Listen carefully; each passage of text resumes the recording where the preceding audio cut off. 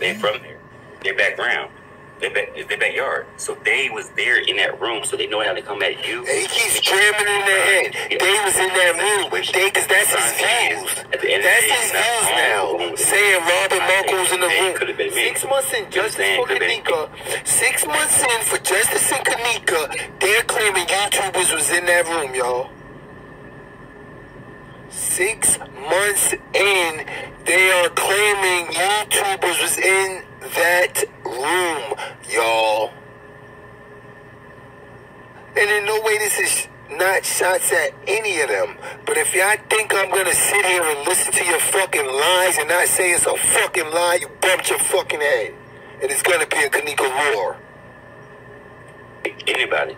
But at the end of the day, what I am trying to tell you is, Because they not only lying to us, they lying with the PSYOP people watching them lie. You understand why this is so dangerous? Because the PSYOP people are watching them lie and at any time can help them with their lie. The PSYOP people ain't never going to watch me and help me reveal the truth to y'all. Remember that. The PSYOP people can always look at people that's messing up in the lie and help them with the PSYOP truth.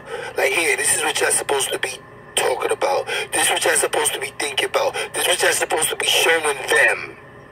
Only anonymous email I'm looking to get is we found Kenneka. She's in Buenos Tardes, Guadalupe, Ecuador. Look at this photo. And they show me a photos of a big house with a zoom in, and we look and we see Kenneka laying down on a beach chair. That's the only anonymous email I'm expecting, alright? Not expecting no lies about a CGI party and a dinner detective joint law enforcement drill turned into YouTube male soap operas. I'm not doing it. 300 lies that confirm a girl is dead that's not even dead.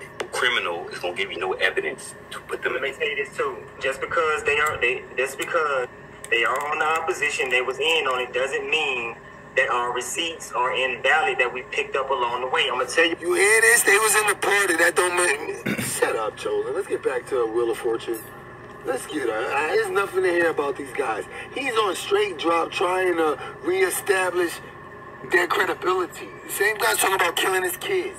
It don't mean their receipts ain't good. You hear that? How you gonna break up in a lie, threaten each other mothers and fathers, and still... Next one, y'all. Come on now. They need to be ashamed of themselves. Black Cuban used to be a mod over there. You're on those videos modding Black Cuban.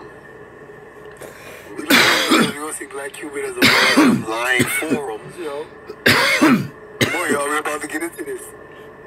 It's the next one. It's the next one, y'all.